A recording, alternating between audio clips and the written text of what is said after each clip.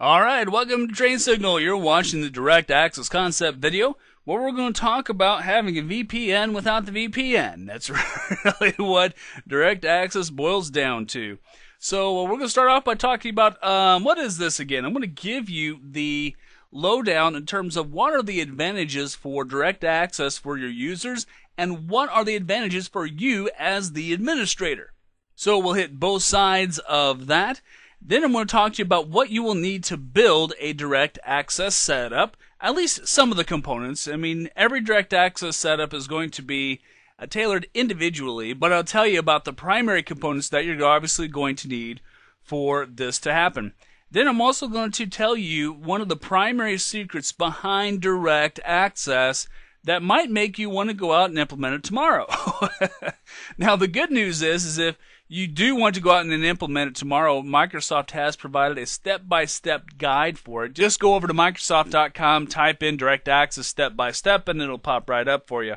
But there is something very very cool about direct access that will make your life a little bit easier in terms of implementation. So let's go ahead and get into our uh, session here. Uh, so what is this again? What is the deal with direct access if you haven't heard so far? Here's the thing. Direct access provides you with VPN access, virtual private network access, without having to have a VPN. Now, there's a lot of folks who uh, VPNs drive them up a wall, and so what Microsoft wanted to do is provide a solution that was native to Server 2008 R2 and Windows 7 that wouldn't require extra hardware. Uh, at least, at, at least what we should say, at least additional VPN hardware. They wanted to be able to do it just inside of Server 2008 R2. And that's exactly what they got. With direct access, what we can do is we can set up a user's machine so that they can have access to all their usual stuff on the corporate network over standard internet connections from more or less anywhere in the world. So that's super keen from the user standpoint. When a user connects to an internet connection, say in a Starbucks or a Panera Bread or wherever they may be, all the corporate resources show up as native elements of the machine, just like as if they were eh, sitting at the corporate headquarters. Now, of course, the speed is going to be, you know, questionable depending upon what the speed of the connection is and all that good stuff. But nevertheless, they're going to have a very easy experience accessing stuff back on the corporate network pretty much anywhere in the world. And they're not going to have to mess around with logging in into a VPN. Now, the advantage for us as administrators, here's something that kind of shocked me when I first heard it. Administrators can actually push updates and group policy updates out to machines even though they're not logged into the network. I, you know, gasp, literally. it's like, how does that work? But I'm going to tell you what makes this work and what creates this possibility here in just a second. So we have two sets of advantages. We have the advantage of users having a very easy experience connecting back to the stuff that they need, and for administrators, very easy experience pushing down updates and or group policy updates to a machine without the machine having to be logged into the network necessarily. Now they do have to be connected to the internet. Okay, that's kind of a no-brainer, right? But they don't have to be logged in or connected to the network necessarily. Now, let me tell you what are some of the components that make all of this stuff work. Uh, first of all, you're going to need a Server 2008 R2 machine for use as a direct access server. So I know that's kind of, you know, blinding flash of the obvious.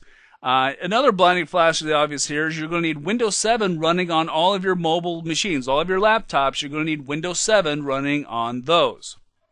This, at, at least at the time of this writing, this feature is not available with Windows Vista. You must have Windows 7. Of course, that'll probably change. You know, Microsoft always comes up with new plugins for backwards compatibility for older operating systems. Now, you also will need at least one domain controller and a DNS machine. Uh, I know that's another blinding flash the obvious. We just got them all over here. Man, we won't be able to see. We've been so blinded by the time this video is up. Uh, you, you'll need it running either Server 2008 R2 or Server 2008 Service Pack 2. You don't absolutely need R2 for this particular component, so if you have a slightly older operating system on there, that's fine on your DC and DNS server. But if it is just 2008, you'll need to install Service Pack 2. All right, you're going to also need a PKI infrastructure. You're going to need at least some kind of certificate services uh, machine running in your network. And I only put down here a PKI infrastructure because there's a lot of different ways you could put a PKI infrastructure together. It might be only one server. It might be multiple servers. You know, depending upon what the rest of your network requires, you know, is going to determine what your PKI infrastructure is going to be. Now, certificate services is going to help us provide two key components for having direct access actually work. First of all, IPsec. Okay, in order to have IPsec, you need to have certificate services running and you need to have certificates, right? Yep. We're also going to utilize IP version 6 in this whole mess. Now, some of you are like, oh man, I've been pushing it off and pushing it off and pushing it off. I don't want to go to IP version 6. I understand your hesitancy. I do. But if you want to implement direct access, you're going to have to dip into IP version 6 at least a little bit.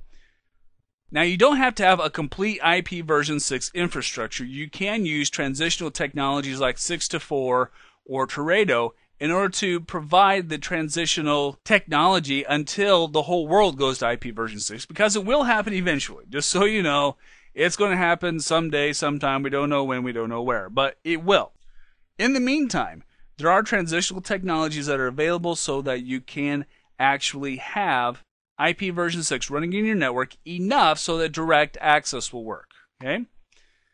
But when we put IP version 6 together with IPsec and certificate services, that actually allows us to use a tunneling technology, a tunneling protocol to provide access to our resources over on the corporate network. And we don't have to have a whole lot of VPN hardware. It's one of those things that was designed to just work. Now, the setup for it is complex. I'm not going to kid you. And uh, in this particular video, I'm not going to set up a whole direct access video. This is just a concept video. I just want to make sure that you know what it is, what it can do, and what you need for it. But let me tell you about really the secret behind direct access. Now, one of the secrets is of, is of course using IP version 6 IPsec and certificate services. And by the way, it does work with smart cards. I know it's probably on your mind too. But another secret that you will want to know is that, and I think this is kind of the biggest secret, and it's something that is going to make direct access very, very appealing to a lot of people, is that it works through port 443 across the network. That's right, HTTPS, your SSL port. What does that mean? That means that you don't have to do anything weird with your firewalls, right? It's because we're connecting via port 443. That's really going to make a huge difference in terms of being able to more or less connect from anywhere. All right, so uh, let's go ahead and let's talk and let's wrap up this particular video and really this series uh, with just a couple of bits about what you should know about direct access after watching this video you should be able to describe the basic functions of direct access, having a VPN without the VPN hardware and the whole mess of that. You should be able to describe the basic requirements of direct access, and also be able to talk about at least one of the secrets behind direct access. And my preference is that uh, you know that direct access can work over port 443, that good old SSL HTTPS port, and that's what's going to make a whole lot of stuff easy we don't have to jump through a lot of weird firewall hoops in order to make this work. All right, so that wraps up this short little video to give you a quickie overview of direct access. I'm Coach Culbertson. Thanks for watching, and I'll see you next time.